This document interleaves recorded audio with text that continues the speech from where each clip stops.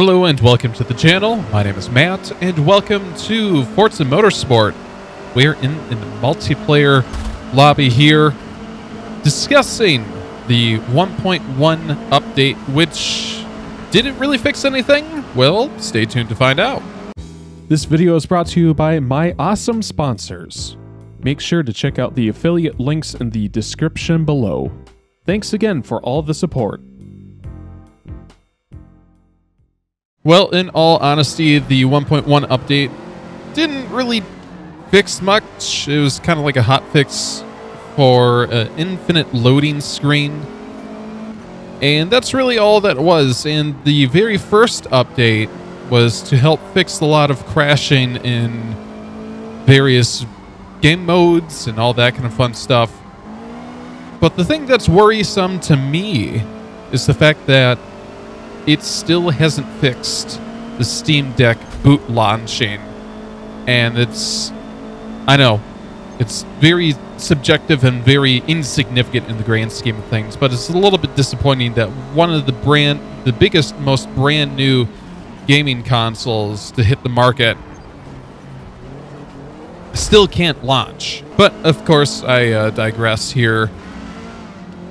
And the cool thing that I wanted to really discuss here today is my current experience in multiplayer. Obviously, this is my very first time in the multiplayer lobby, and I'm very concerned about how this is all going.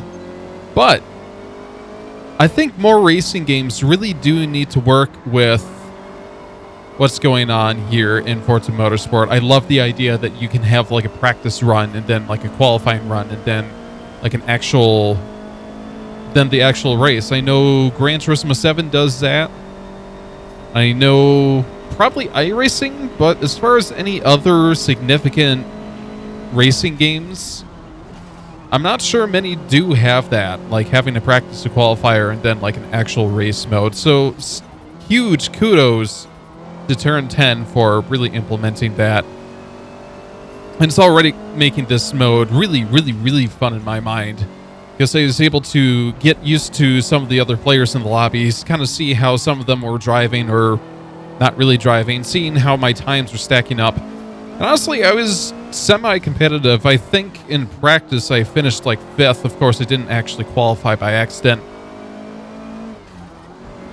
And I think my driving is fairly okay-ish in comparison to this lobby here. Of course, I had that uh, one-off incident where he wanted to turn one a little bit too hot there. The one thing that he did want to discuss is kind of like I was talking about in the last Forza Motorsport video that I made, talking about how there's a lot of criticisms around the game, and obviously, you know, rightly so. But I actually left the Forza Motorsport subreddit because it was just like a cesspool of people complaining about it. And again, like I get it. I get that there's a lot of things that need to be fixed in this game. And I have my critiques as well of what needs to be fixed, i.e., may I remind them, Steam Deck exists. But it's just like we don't need to hear for like the millionth time that the replay system is broken. Like we know it is. That's why I'm not going to partake in watching it when the race is done because I know it's broken. You know, but we don't need a community of just constantly bashing them.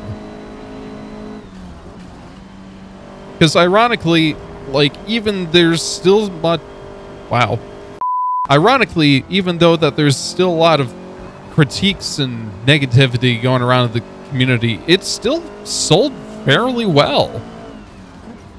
I don't think it I think it got like to number 7 in the Steam top 10, which honestly for a new racing game is a little bit low. Normally they've been in like the top 5. But still like you can tell that this game sold millions of copies and has had millions of players because of Game Pass. So, as much as we'll yell at Turn 10 for releasing an unoptimized game, we're still the idiots for buying it in an unfinished state.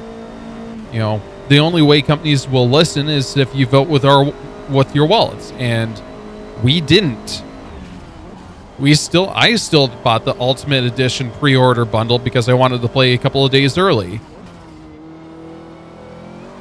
Hate being content creator, but then it's just like you know. And since playing this game, the only true bugs that I've had has been with the Steam Deck launching or not launching, really. I mean, since doing this video, have you guys noticed any bugs? No? Me neither. So I think the situation is that everybody has like these one-off bugs here and there and will rant about it and then tell Turn 10 how they need to fix their game and whatnot, which is fine, fair. I get it. Hey, somebody quit, which means I might move up a place. Woohoo! Let's see if I can pass this guy. Oh, he's going to come. Ooh.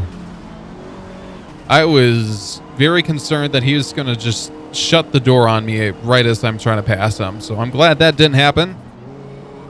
Thank you for the clean pass. And so we make our way up past lapping of 11th place here. So back to the title of the video, the update 1.1. Did it fix anything? For some people, probably. this game has been weirdly functional for me since launch, apart from the Steam Deck, which I'll not stop talking about. But on a Windows 10 PC with an i7 9700K and an RTX 3070 Ti, I want to say this is running high graphics, 1080p. Not even a frame drop, which I find surprising. So this game is optimized for me. So if I stop listening, if we all as a community stop listening to the rest of the community and start saying, hey, you know, if we just actually play this game, you'll see how optimized it is for 75% of everybody. I think that's the problem is that we'll play this for a little bit, have an okay time, and then go on to Reddit and then realize how much we hate it. And it's like, that's, that's not cool. And my tires fell off. Holy crap at that last lap. Oh, that was rough. But without qualifying, I went up to six, went up six positions up into fifth. So I'm, uh, and no penalties, even though I fell off. So Woohoo. so yeah, as you can tell, it's kind of a slow news week. We're only discussing the 1.1 update of Forza Motorsport, and next week we'll actually be reviewing the new EAWRC game. So please stay tuned for all of that. If you enjoyed this content, make sure to like, comment, and subscribe, as we'll most likely talk about the Forza Motorsport update 1.2 eventually. So stay tuned for that, and again, stay tuned for the EAWRC rally. Again, kind of a short video here today, kind of a ramble on discussing uh, the multiplayer, which is functional and I like it. So, woohoo. so again, thanks so much for watching. Hope you guys have a great day today. Take care. Bye.